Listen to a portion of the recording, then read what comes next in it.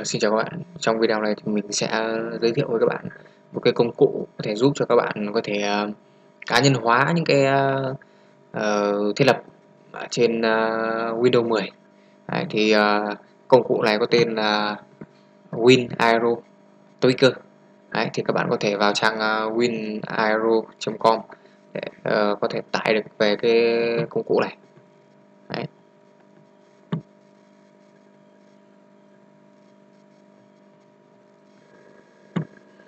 Thì công cụ này nó sẽ giúp cho các bạn uh, có thể uh, tùy biến Windows này một cách dễ dàng nhất.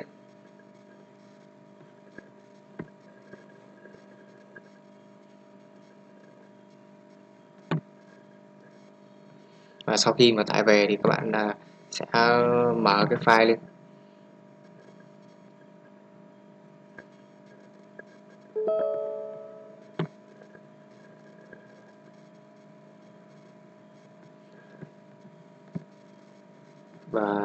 Cái giao diện cài đặt bắt đầu các bạn ấn link. Đấy, thì ở đây có hai cái ờ, cái, cái, cái thiết lập. Đấy, thiết lập thứ nhất là normal mod tức là cái chế độ bình thường này nó sẽ ờ, cài đặt cài hẳn ra máy một cái chế độ portable mod này. Tức là dùng các bạn có thể chạy trực tiếp mà không cần phải uh, cài đặt. Thì tuy nhiên thì mình khuyến nghị các bạn là lên uh, cài đặt. Thì dùng nó sẽ ổn định hơn. Sau đó các bạn ấn next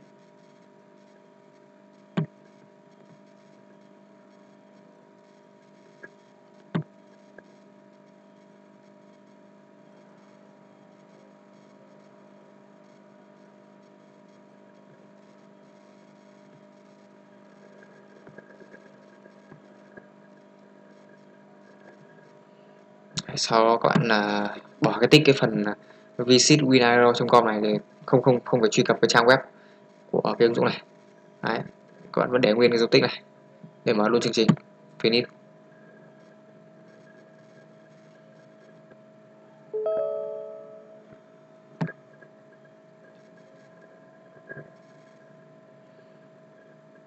Đấy, thì sau khi mà các bạn cài đặt xong thì đây sẽ là cái giao diện của chương trình thì à, các bạn có thể tùy biến được rất nhiều. Những cái tùy biến ở trong này.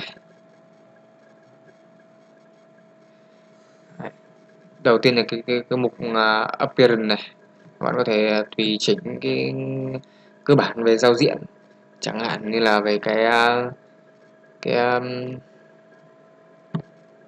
màu sắc của cái thanh uh, thanh thanh uh, gọi là thành thành tiêu đề này Đấy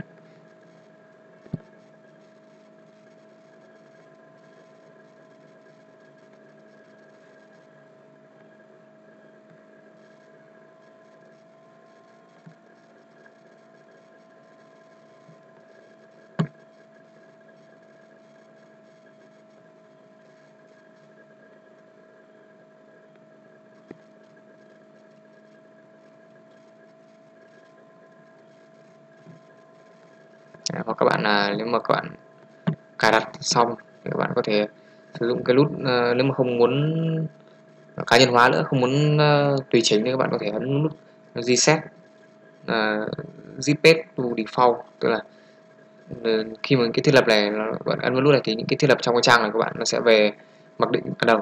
Đấy. thì các bạn không phải lo là cái việc mà uh, khôi phục lại những cái thiết lập.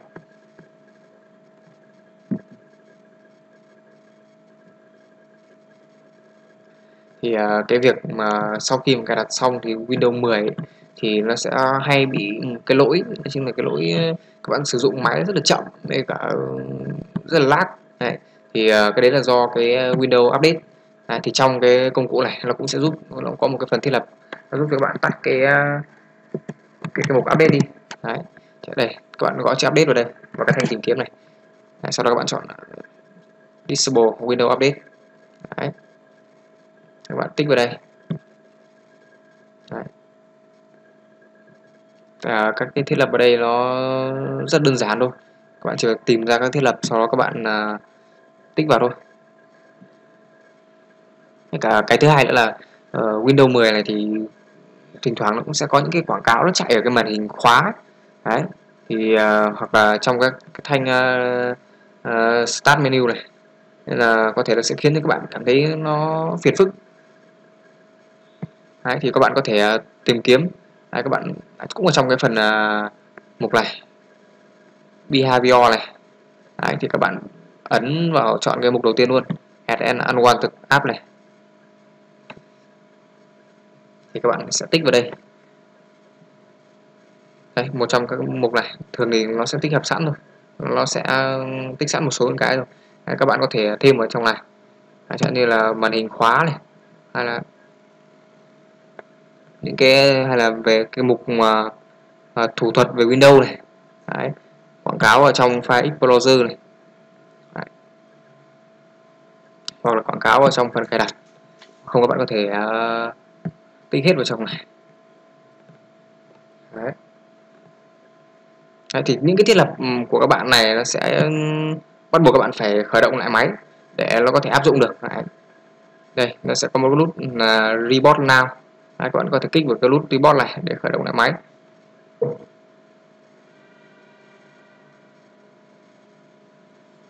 Hoặc là có một cái tính năng nữa trong này chẳng khi mà các bạn tìm kiếm ở trong cái Cortana này thì nó sẽ có thể là nó sẽ hiển thị ra các cái link của web. Đấy thì các bạn vẫn cũng có thể là các bạn tắt đi cái cái, cái, cái tính năng tìm kiếm web này. Thì các bạn sẽ tìm cái mục mà sẽ có chữ web. Đấy thì các bạn chọn vào cái mục disable web search. Đây này các bạn có thể nhìn thấy ở đây nó chính là disable web search in taskbar and Cortana có tích vào cái này nó sẽ vô hiệu hóa cái việc các bạn tìm kiếm web ở trong uh, cái thanh cái mục tìm kiếm này Cortana này. Đấy. ở đây uh, cái công cụ này nó phân chia ra rất nhiều mục. Các bạn có thể dựa vào cái mục này. Các bạn tìm cho mình những cái thiết lập.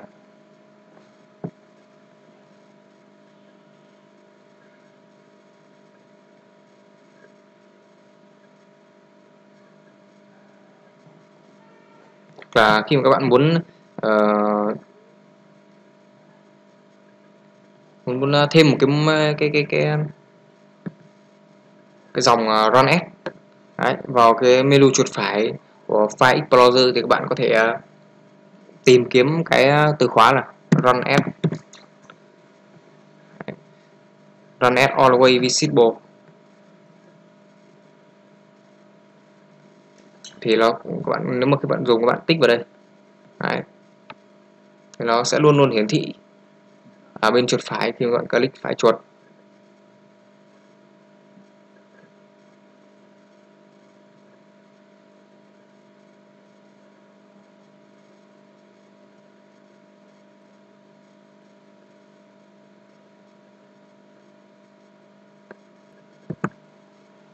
Hoặc các bạn có, cũng có thể uh, thêm các cái thông báo ở trên màn hình đăng nhập các bạn sẽ gõ cái này gõ từ khóa là mess message sign in Đấy.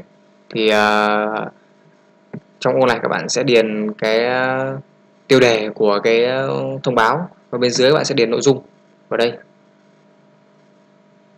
thì uh, sau khi mà các bạn khởi động lại thì trong cái mục uh, log on khi bạn đăng nhập vào máy nó sẽ có một cái thông báo là những cái cái mà các bạn đã thiết lập ở trong này.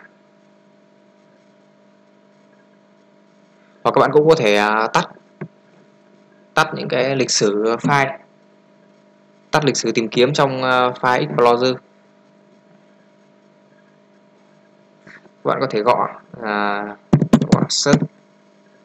Thì trong này nó cũng sẽ có này. Disable search history thì nó sẽ tắt đi cái lịch sử tìm kiếm ở trong uh, file Explorer. Đấy.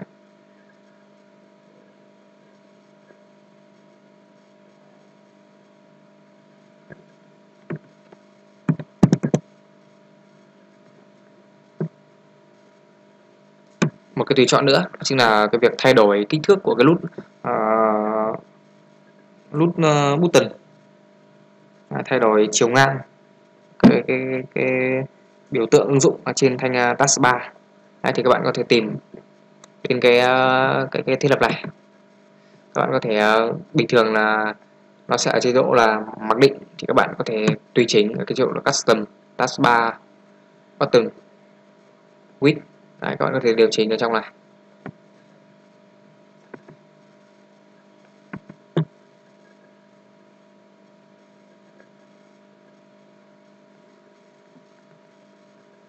Ngoài những cái uh, thiết lập như trên thì còn có rất nhiều những cái ứng dụng khác chẳng cái thiết lập khác chẳng hạn như là các bạn có thể chặn ngăn chặn cái việc ghi dữ liệu ra USB thì các bạn sẽ gõ là USB đấy thì trong này nó sẽ có một cái mục là ờ, uh, USB Write ờ, Protection tức là ngăn chặn cái việc ghi dữ liệu ra USB đấy tránh cái trường hợp là uh, máy tính của các bạn là nhiễm uh, virus cái con virus shortcut sau lây sang USB đấy thì các bạn có thể enable cái tính năng này lên à, các bạn tích vào đây.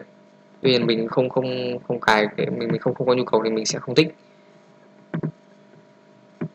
Hoặc các bạn cũng có thể uh, thêm cái uh, nút uh, tắt.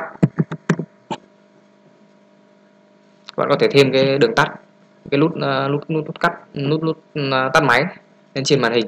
Đấy các bạn có thể chọn. Đầu tiên các bạn đặt tên cho cái shortcut này mình sẽ để là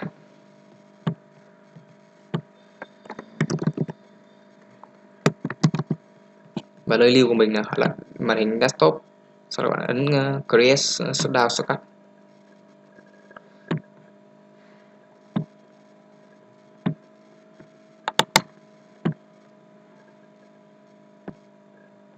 và đây đây chính là cái shortcut mà mình đã tạo.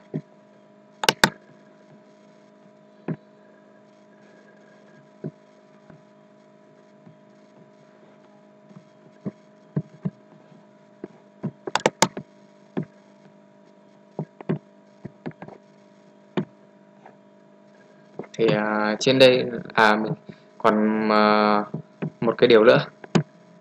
Ừ, um, đấy chính là những cái thiết lập của các bạn. Các bạn có thể uh, sao lưu lại. Đấy, bằng trong cái mục uh, là import export to wix đấy trong mục export này thì các bạn sẽ xuất ra cái file mà, những cái thiết lập mà các bạn đã lưu đã, đã tạo trong này. Đấy ra một cái thư mục. Thì những cái file đấy các bạn có thể đem sang máy khác và áp dụng sang các cái máy khác còn cái mục import này thì các bạn sẽ nhập vào những cái file mà các bạn đã xuất ra từ trước. Đấy. để áp dụng những cái thay đổi. À, trên đây là một số những cái thiết lập mình giới thiệu các bạn. Ngoài ra còn có rất nhiều những cái mục khác. À, các bạn có thể tự tự mò trong này tự tìm hiểu. Hoặc là cá nhân hóa Windows thiết lập theo ý của mình. Có rất nhiều các cái danh mục trong này và chúc các bạn thành công.